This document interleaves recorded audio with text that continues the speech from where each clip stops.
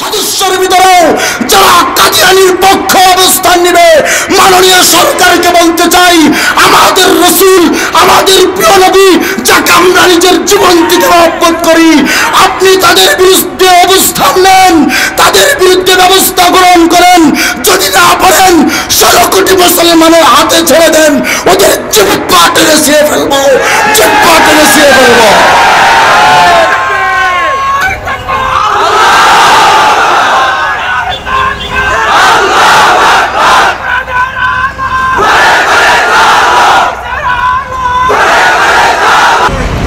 আওয়ামী লীগ ধর্মশালা নাকি?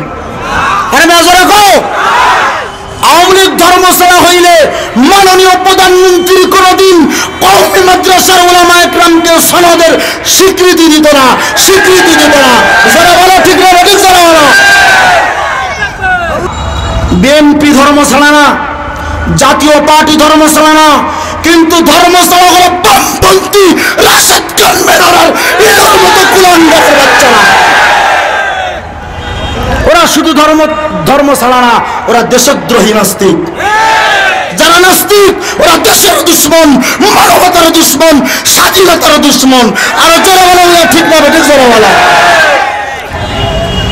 যখন পাকিস্তানি হানাদার বাহিনীর বিপক্ষে আমাদের স্বাধীনতার স্থপতি মরহুম শেখ মুজিবুর রহমান নিজেদের অধিকার আদায় করার জন্য জুলুমের বিরুদ্ধে যখন হংকার ছেড়েছিল বাংলার মুসলমানগুলা, বাংলার জনগণগুলা তাদের হায়াত ফিরে পেয়ে তারা নিজেদের নিজেদের সমস্ত যোগ্যতা দিয়া, সমস্ত বল দিয়া যার হাতে যা ছিল তাই নিয়ে পাকিস্তানি বাহিনীদের বিরুদ্ধে ঝাঁপায়া পড়ছিল। ঠিক কিনা যারা বলো? কিন্তু এই অধিকার আদায় করতে গিয়ে যে যুদ্ধে আমরা অবতীর্ণ হয়েছিলাম, এই নাস্তিকের গোষ্ঠী বলেছিল, সাম্রাজ্যবাদী দুই কুত্তার যুদ্ধ এইগুলা। এরা ফতুয়া জারি করছিল। এই রশিদ খান মেনন আনিলন আমাদের লজ্জা হয়। স্বাধীনতার বিরুদ্ধে অবস্থান নেওয়া তারা সংসদ সদস্য কেমনে হয় আজকে তারা সংসদে দাঁড়ায় কথা বলে। মাননীয় প্রধানমন্ত্রী স্বাধীনতা বিরুদ্ধে, স্বাধীনতার বিরোধী যারা ছিল, তাদেরকে আপনি বিচার করছেন, ধন্যবাদ আপনাকে। আমরা স্বাধীনতার বিপক্ষে না, আমরাও স্বাধীনতার সৈনিক। আমাদের বাপ দাদারা স্বাধীনতার জন্য রক্ত দিয়েছে। আপনি স্বাধীনতা বিরোধের বিচার করেছেন, ধন্যবাদ আপনাকে। কিন্তু ওই সময় যারা মাননীয় প্রধানমন্ত্রী, ওই সময় যারা শেখ মুজিবকে নিয়ে যারা কথা বলেছিল, রাশেদ খান মেনন আর হাসানুল্লাহ কিনুর মতো বামপন্থী নাস্তিকের বাচ্চারা বলেছিল, বঙ্গবন্ধু শেখ মুজিবের চামড়া খুলে তারা ডুগডুগি বাজাবে। এই রাশেদ খান আর হাসানুল্লাহ কিনুই বলেছিল। মুজিব হত্যার বিচার হয়েছে, ধন্যবাদ। এত বড় মহামানবকে যারা ষড়যন্ত্র করে মেরেছে, তাদেরকে বিচার করেছেন, ধন্যবাদ। স্বাধীনতা বিরোধীদের বিচার করেছেন, ধন্যবাদ। কিন্তু স্বাধীনতার স্থপতির চামড়া উঠে যারা ডুগডুগি বানাইতে চেয়েছিল আপনার সঙ্গে সংসদে বসে কেমনে? ওদের বিরুদ্ধে আপনি অবস্থান গ্রহণ করেন। যদি না পারেন আমরা স্বাধীনতা কামী ষোলো কোটি মুসলমানের হাতে উঠায় দেন শবির হাতে উঠায় দেন, ওদের চামড়া উঠে আমরা জুতা মানে আপনারা পড়াবো। ঠিক যারা বলো মুসলমান? আমরা কোনো দল বিরোধী না। আমরা আওয়ামী লীগ বিরোধী না। আমরা বিএনপি বিরোধী না। আমরা জাতীয় পার্টি বিরোধী না, কারণ সবার একটা ধর্ম আছে, কিন্তু ধর্ম নাই হলো নাস্তিকদের। ধরে বলো? ধর্ম নাই নাস্তিকদের। খুলে দেখো।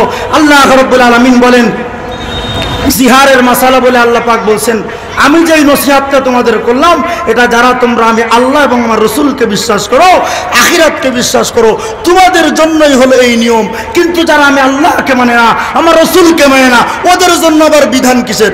ওদের কাছে মেয়েও যা বউ তাই, মাও তাই। বলো ঠিক না আমরা কৌমি মাদ্রাসার ওলামা একরাম আমরা শান্ত জাতি। সরকার বাহাদুর, সাতচল্লিশ বছরের ইতিহাস ঘুটে পুরা বাংলার জমিন তদন্ত করে এই কথায় উপনীত হয়েছে যে কৌমি মাদ্রাসা আদর্শ সন্তান গলার কারিগর। জোরে বলো।